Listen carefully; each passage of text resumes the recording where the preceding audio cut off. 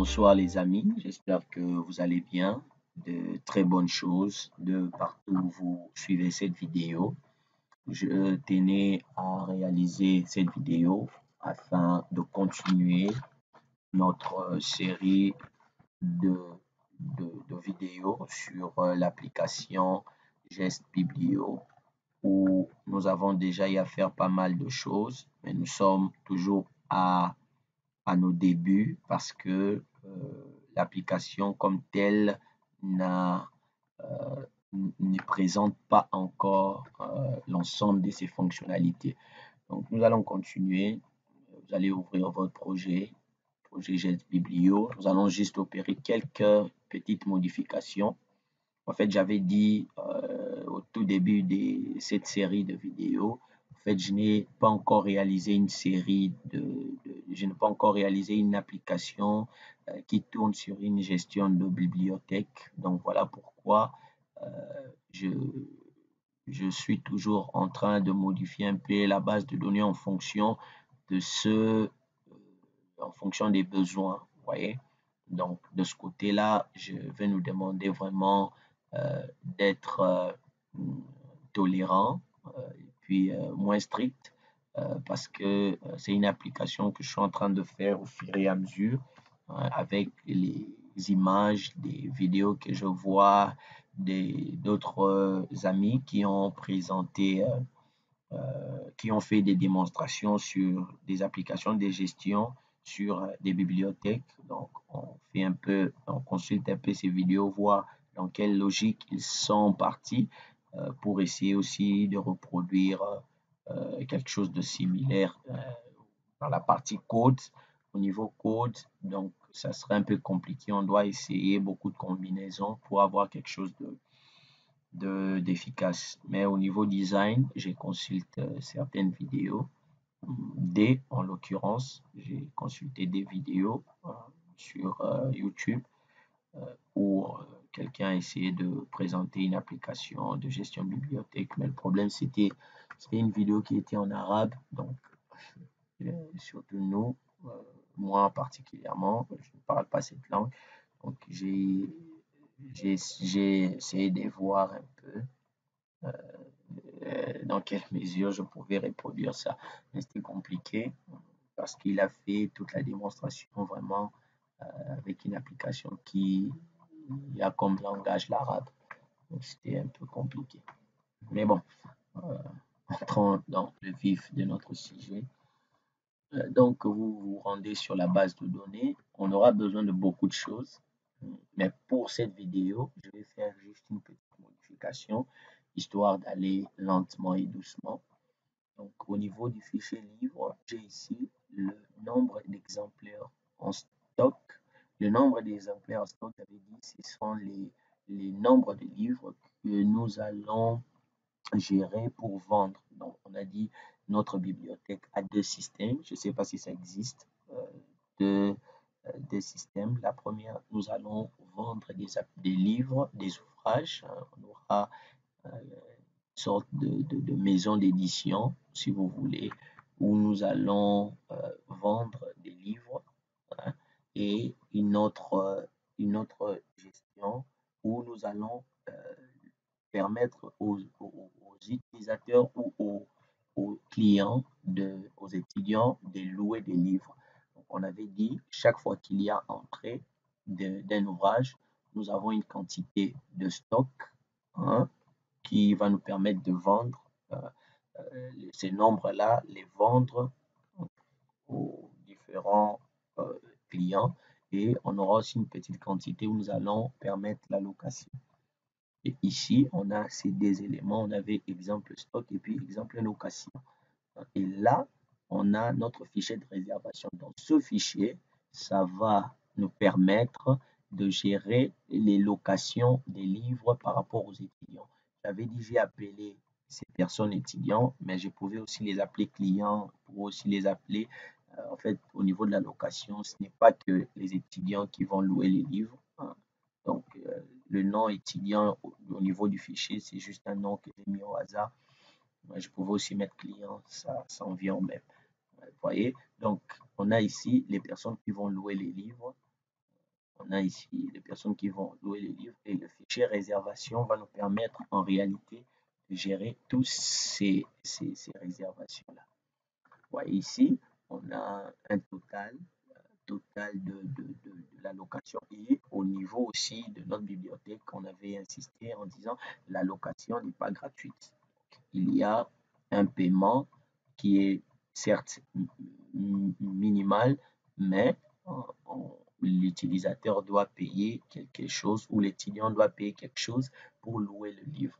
Je ne sais pas, normalement, c'est vraiment un coût très bas pour la location et il y a aussi d'autres bibliothèques qui permettent la location gratuite. Donc, ça dépend, en réalité, ça dépend de l'établissement dans, la, laquelle on vous consulte euh, comme, euh, comme développeur pour euh, pour euh, faire une gestion de cet établissement. Il y a des établissements qui permettent une location gratuite et il y a des, établissements qui ont un système payant de location des livres. Donc, ça dépend de la structure. Et nous, on a essayé de prendre les deux cas. On a un cas où nous avons une location, où nous avons une location payante euh, et on a aussi un système de vente des livres. Ça sera beaucoup plus intéressant et on aura une application avec euh, beaucoup de fonctions. Ça, ça sera vraiment euh, une très bonne pratique pour surtout les personnes qui débutent. Et ici, on a dans notre fichier réservation, j'ai ajouté un, une rubrique quantité. Ça, c'est la quantité du livre que, que, l'utilisateur va louer. Normalement, selon notre logique, il a droit, par défaut, il a droit de louer un, ouvrage. Euh, il, ne loue qu'un ouvrage par, euh, par, par, je peux dire par type, si je peux m'exprimer ainsi. Je peux dire par type, mais en réalité, euh, par exemple, si j'ouvre par exemple ma base de données ici, je prends par exemple livre. Donc, euh, pour chaque type de livre, pour chaque livre, l'utilisateur n'a pas droit de louer des exemplaires. Par exemple, pour les livres, livres de la jungle, si je viens louer ce livre, le, réserver ou le louer, je ne peux pas louer des ouvrages. Je loue euh, pour, par étudiant. Chaque étudiant a droit à un ouvrage par livre.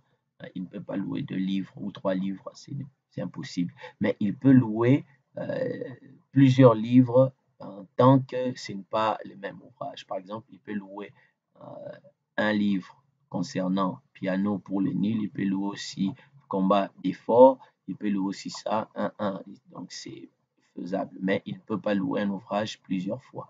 Ça, c'est ce n'est pas ça ne sera pas permis. On ne permettra pas ça dans notre gestion. Et aussi, vous allez dans le fichier vente. Dans le fichier vente ici, vous allez euh, ajouter une quantité. Ligne vente, ajouter une quantité vente. Et puis, vous allez dans ligne commande, vous allez ajouter aussi une quantité juste là. Et vous allez mettre ça en numérique. Vous allez mettre ça en numérique, voyez, numérique 4 le C signifie commande. Et ici aussi, vous allez mettre ça en numérique. Vous allez mettre ça en numérique. Pareil aussi pour réservation. Hein, c'est bon. Et ici, on a un fichier, c'est le fichier, euh, le fichier euh, vente livre euh, où nous aurons les informations pour le total de la facture. Donc, nous aurons euh, nombre de livres, la date du jour, le total à payer. Euh, ici, le total à payer. Donc ça, ça sera les informations pour euh, la facture. Normalement, je devais aussi créer, je devais faire aussi, je devais faire aussi un fichier commande où nous allions répertorier la sommation de des, informations. Par exemple, si on voulait imprimer des tickets, euh, chaque fois qu'il y a réapprovisionnement, je pouvais aussi gérer ça avec euh, un fichier ici. Mais on n'ira pas très aussi loin que ça. Ce n'est pas vraiment important. Euh, mais si vous voulez, par exemple, qu'on incorpore aussi cet, euh, élément, je, pourrais je pourrais aussi l'ajouter. Hein. Euh, mais déjà avec ça, ça c'est bon. Une fois que vous avez fait ça, n'oubliez pas de générer votre, votre analyse hein, pour, euh, pour continuer. Hein. Et au niveau de notre menu, nous allons juste ici, on va ajouter quelques éléments. On a ici titre, stock, réservation, livre. Je vais changer cette image. Ne vous inquiétez pas, cette vidéo sera très courte parce que là, on n'a pas besoin de réservation. Je peux prendre quelle image qui pourrait correspondre. J'ai un problème avec les images par défaut. Réservation, je prendre même ça. Je prends ça je la diminue. Je peux garder ce nom. On valide. C'est beaucoup trop gros. Qu'est-ce que je pense?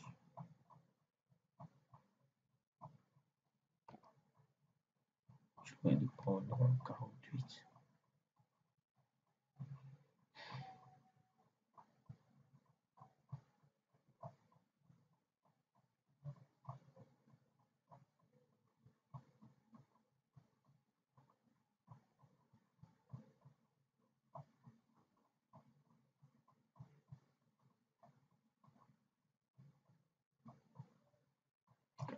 48.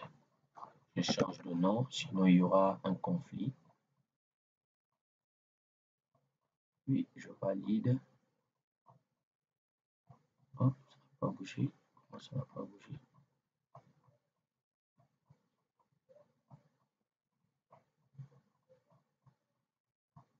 Bon, je trouve ça très moche. Je vais changer l'image. Même en 48 pixels, ça, ça ne marche pas toujours aussi gros. Je vais changer l'image, je vais prendre même celle-ci.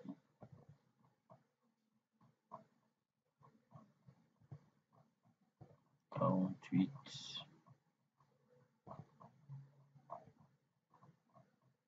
Normalement 64, ça doit être bon. C'est bon, on enregistre. OK.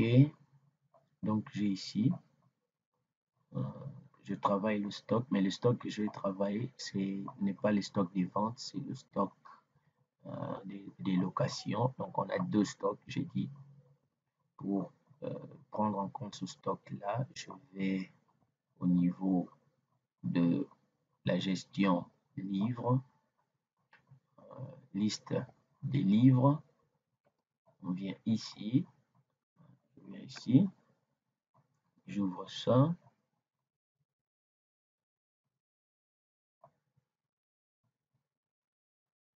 On est déjà combien À 13 minutes, c'est bon. Euh, ça, c'est la quantité en stock. Ici, on va, on va dire quantité location.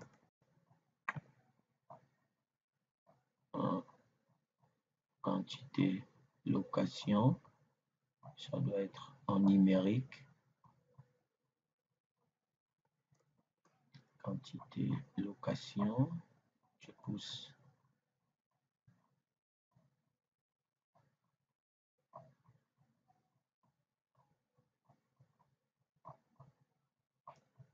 quantité location nombre on dit nombre stock nombre stock au lieu d'écrire quantité je peux aussi dire ici NBR nombre location ok. C'est bon et ici on montre la liaison il y a une liaison et là aussi on va lier ça. je valide Je valide ça.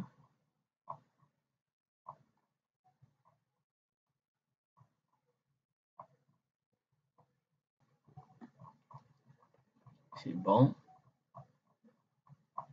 C'est bon ici. Pour le titre, on diminue un peu. On diminue aussi. Catégorie. Diminue aussi le prix. OK. Et on a aussi, on va aussi à ce niveau sur cette fiche quand j'exécute. Quand je l'exécute, voyez ici, on a un petit problème. Le numéro du reçu ne se génère pas automatiquement. Et là, on a, on a euh, un, de, un de nos amis de la communauté qui nous a aidé avec euh, un petit bout de code pour générer des numéros au hasard. Ça fait toujours plaisir de, voir qu'il y a euh, des amis euh, au niveau de notre communauté, la communauté Windev pour tous. A un étudiant aussi qui nous a fait parvenir ça pour aider aussi les amis, idées de proposition de code voyez, donc c'est pour nous dire euh, qu'on ne prétend pas, on ne prétend pas avoir euh, toute la connaissance. Nous nous complétons et tout ce que nous pouvons donner, tout ce que nous pouvons donner euh, qui permettrait de, permettre, qui permettrait aux autres d'avancer encore, ça peut toujours nous aider et c'est vraiment euh, le bienvenu au milieu, au milieu de, la chaîne Minef pour tous. Vous voyez, c'est juste un tout petit code là pour euh, générer des pour générer vous voyez. Donc pourquoi ça n'avait pas marché? Parce que j'ai mis ça en sortie. En sortie vous devez toujours cliquer pour euh, avoir un nouveau code avoir un nouveau code. Hein, je garde ça d'abord comme ceci. Je pourrais modifier ça plus tard. Donc, la petite astuce, donc je vais mettre ça en sortie, ce code. Et je vais mettre ça aussi en initialisation. Comme ça, une fois qu'on clique, mais pourquoi il ne veut pas en initialisation de la, du champ, il refuse on essaye d'abord de le mettre essayons d'abord de le mettre en initialisation de la fenêtre.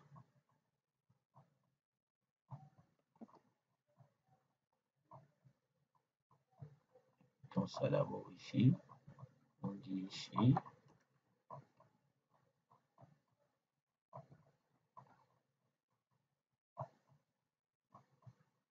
voyez, c'est bon, ça marche au niveau de l'initialisation de la fenêtre. OK. Donc, on aura ici un code qui est généré au hasard sur euh, les factures. Bon, peut-être avec 9, 9 chiffres, c'est peut-être beaucoup. Euh, 6 chiffres, c'est quand même beaucoup. Je peux mettre même pour le cadre de cette vidéo je vais mettre même 3, non, même 4 chiffres. 0 à 4 chiffres. Là, ça sera beaucoup plus intéressant. Ici aussi, 0 à 4 chiffres. C'est bon. Et je reviens sur euh, la gestion des livres. On a ici le nombre de stocks. On a ici le nombre de locations. Vous voyez, et là, je vais mettre un bouton pour la location. Pour la location, mouvement, location, je copie le bouton. Je vais mettre ça ici, dans gestion. Dans gestion. Euh, on dit réservation livre la fiche, on va appeler cette fiche ici, il va réafficher ça. J'enregistre. Normalement, pour table affiche, ce n'est pas vraiment important parce que c'est une requête et cette requête ne dépend pas euh, du bouton, c'est une requête qui dépend de notre, euh, de notre table livre. Voyez? Donc ici, on a ceci, on a ceci, on prend. Mais avant, je vais vous montrer le code. J'ai un peu changé le code. Parce que si j'ai appuyé sur le bouton valider, il y aurait, vous allez voir un résultat. Parce que j'ai déjà euh, fait le test sur le code. J'ai déjà fait le test, mais je vais vous expliquer, vous montrer comment vous allez faire. Donc, au niveau de, réservation, au niveau de votre fiche réservation, une fois qu'on a le nombre de jours et ici on a notre quantité ici je viens dans la fenêtre j'ai dit euh, j'ai dit euh, size quantité par défaut il aura la valeur 1 hmm, par défaut il aura la valeur 1 euh, j'exécute ça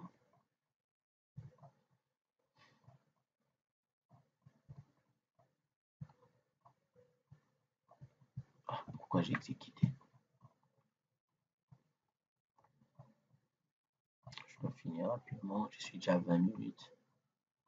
Hum, pour euh, bouton fiche réservation. Hum. Donc ce que nous allons faire, c'est juste euh, appliquer un tout petit code pour modifier vous voyez, dans le fichier réservation, on a ici quantité au fond, on a ici quantité euh, qui est enregistrée. Chaque fois qu'on appuie sur le bouton valider, et ce que nous voulons, c'est que qu'il puisse, puisse ajouter à ce niveau la quantité, mais qu'il puisse aussi modifier hein, en même temps qu'il ajoute dans les fichiers réservation la quantité et qu'il modifie le, la quantité qui se trouve dans le fichier livre. Hein, quand je viens dans livre, la quantité, je viens ici dans nombre de locations. On a ici le nombre de quantités de livres qu'il faut louer. Vous voyez, là, ça sera intéressant. Je vais exécuter. Je vais exécuter. Non, j'ai exécuté trop tôt. Je dois vous montrer d'abord le code avant de tester ça. Donc ici, ça c'était le code qu'on avait mis avant. Hein. Vous pouvez constater un code simple. Je l'efface.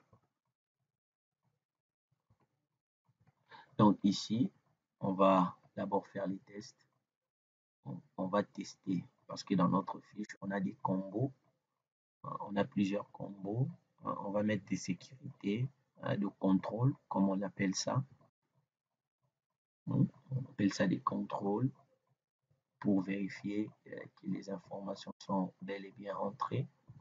Pour l'année, on dit ici, c'est différent de 0. On dit ici, vous devez sélectionner euh, différents euh, et devez sélectionner ici le mois.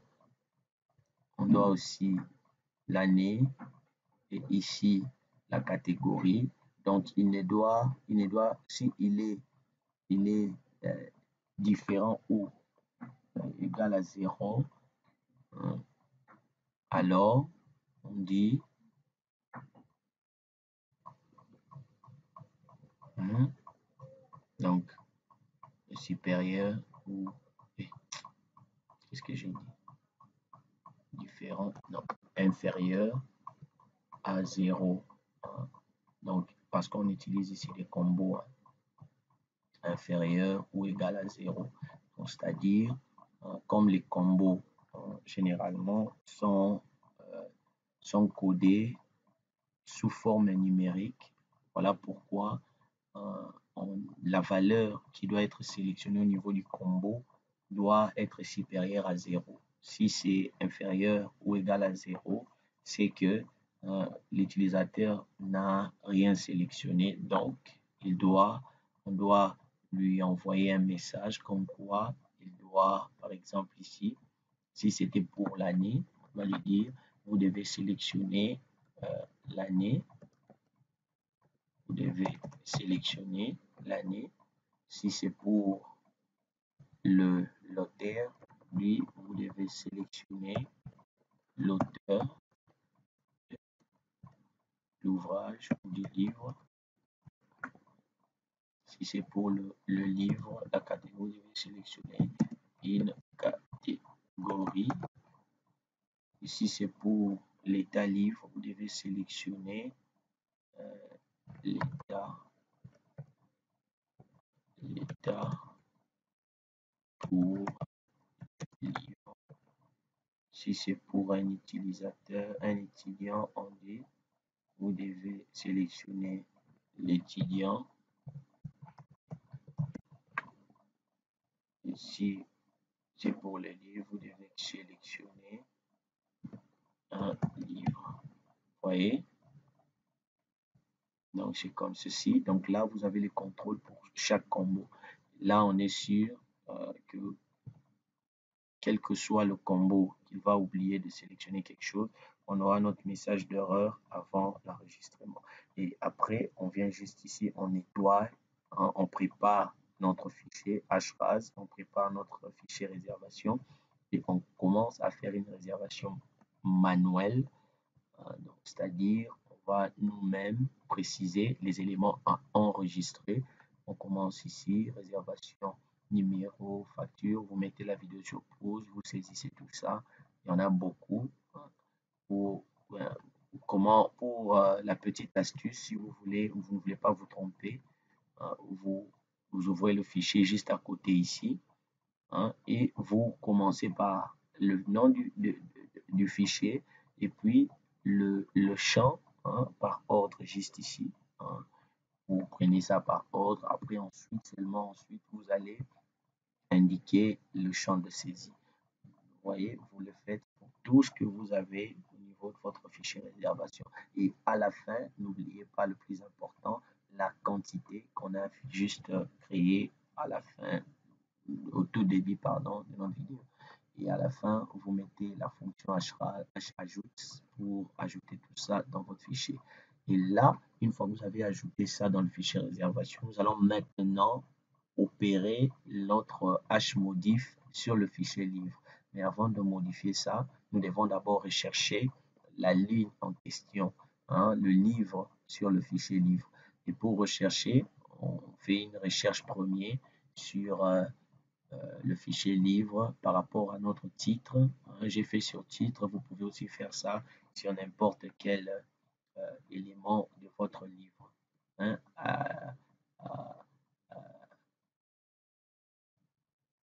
le seul conseil, donc quand vous recherchez sur un fichier, soyez sûr que l'élément en question sera bien trouvé et qu'il n'y aura pas de, complications au niveau de la recherche. Donc, moi, j'ai utilisé le titre du livre.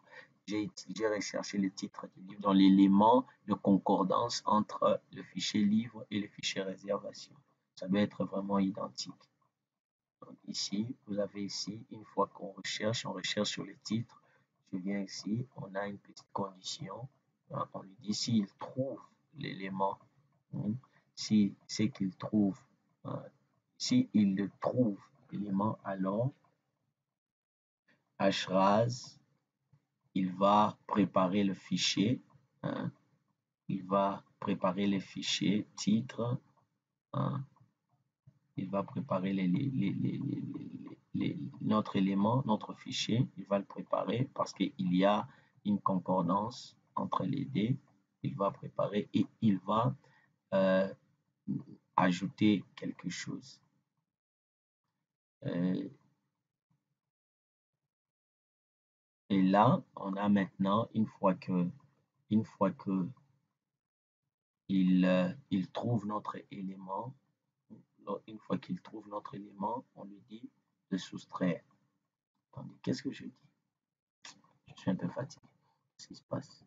On dit ici, pardon, si il trouve, hein, si l'élément, il ne trouve pas notre enregistrement dans le fichier, si c'est faux, c'est-à-dire il ne trouve rien, on lui demande d'ajouter une ligne. Il va ajouter cette nouvelle ligne qu'on vient de créer. Voyez? Et là, on aura maintenant, euh, mais s'il il sort de cette condition et que effectivement il localise notre enregistrement dans le fichier livre, on lui demande de nous permettre euh, une modification. Une modification sur, euh, sur le nombre d'exemplaires qui se trouvent sur le livre, le fichier livre. Hein. Le moins ici, c'est pour faire la soustraction. Hein. Il va prendre la quantité qu'il y a dans réservation, il va soustraire cette quantité à, au nombre de quantités de livres qui sont sur le fichier livre et on lui dit c'est une modification. Comme c'est une modification, il ne va pas ajouter une nouvelle ligne. Là, on a info. Cette location a déduit les livres en stock. Hein, vous voyez? Et là, info, on peut ici à la fin faire un bouton. On peut fermer notre fenêtre. Hein, je ne sais pas si j'ai été clair, mais de toutes les façons, on va encore refaire ce code. Là, on va encore mieux expliquer pour permettre euh, de bien comprendre. De ce côté-ci, euh, c'est vraiment facile. Et là, on va exécuter. Euh, non, je ne vais pas exécuter ici. Je vais exécuter ça au niveau du tout le projet. Donc, vous voyez, c'est très simple parce qu'on n'utilise qu'un fichier, hein, le fichier réservation mais pour euh, au niveau de la vente, on sera obligé de faire d'utiliser deux fichiers. Là, ça sera beaucoup plus compliqué. On va encore expliquer, on va peut-être faire ça ensemble pas à pas. Et ici, on a au niveau de notre euh, étudiant, je viens ici, on va juste au niveau des livres, ajouter un livre. Non, on va pas ajouter un livre, on a déjà beaucoup de livres ici. Je prends par exemple celui-là, hein, combat d'effort. On va consulter les informations sur le livre. On a quantité d'exemplaires à, des locations. On en a 10. Euh, Vous voyez, on en a 10. Je vais réserver ça pour un étudiant. Normalement, il doit soustraire notre livre. Je dis ici, du 15 au 17, nombre de jours, ça sera calculé. Le livre, on va prendre ça. On va prendre ça. Et ici, on prend l'année. On c'est en bon état. On prend lui. Là, on dit OK. Et je calcule. 3 livres, 30 dollars. 3 jours. On vient ici, la date d'aujourd'hui. Et là, c'est bon. On a ici notre 1 par défaut. Hein. Je, peux même changer cette valeur. Je peux dire 2. Hein? Et on avait dit pour, euh, euh, pour, euh, pour, la sécurité, l'étudiant sera obligé, ne sera permis que de louer un seul livre par, par, par ouvrage. Un seul exemplaire, disons un là, mais pour le cas de la présentation, la démonstration, je vais mettre deux pour que vous puissiez voir la différence. Quand je valide, il me dit la location a déduit les livres, je valide, et puis il ferme. Et là, on vient ici euh, pour notre date, date d'aujourd'hui, les 14. On a ici notre location et on a notre valeur ici à quatre chiffres, le numéro ici à quatre chiffres. Je ferme, je rentre ici au niveau euh, au niveau des livres. Vous voyez, au niveau des livres, on a bien les bien ici. Au niveau nombre de livres, on a maintenant 8, ce n'est plus 10. Donc vous voyez, là, on, aura la possibilité de savoir lorsqu'il n'y a plus d'ouvrage euh, euh, surtout lorsqu'il y a la bibliothèque est très grande. C'est un système qui va aider le, client, l'utilisateur, pardon, à signifier lorsqu'on veut louer un livre qui n'y est plus en stock. On peut très facilement savoir ici hein, que ça serait impossible de louer ce livre parce qu'il n'y en a plus en stock. Et on mettra des conditions comme ça dans l'autre vidéo qu'on va faire ensemble. Donc, j'espère que j'ai été un peu clair. Hein. Euh, pardonnez-moi pour les petits tâtonnements au niveau des explications. Vous voyez l'heure à laquelle je réalise la vidéo, je suis un peu fatigué. normalement, il fallait que je fasse deux vidéos euh, pour cette semaine. Je devais au moins faire deux vidéos. Euh, mais pour aujourd'hui, je suis un peu trop fatigué. Je pense que demain, je ferai un effort déjà de faire, je pourrais même faire trois vidéos hein, que je publierai. Euh, si pas en fin de semaine, je vais publier ça hum, euh, pour la semaine, euh, la semaine qui va commencer. Aujourd'hui, je vais juste m'arrêter ici. En tout cas, des très bonnes choses. J'espère que vous allez aimer la vidéo et que vous n'aurez pas trop de mal à réaliser cela. Prenez soin de vous. Je vous donne rendez-vous, disons, à la semaine prochaine euh, les autres vidéos et finir euh, avec notre gestion sur une bibliothèque. Prenez soin de vous. Bye.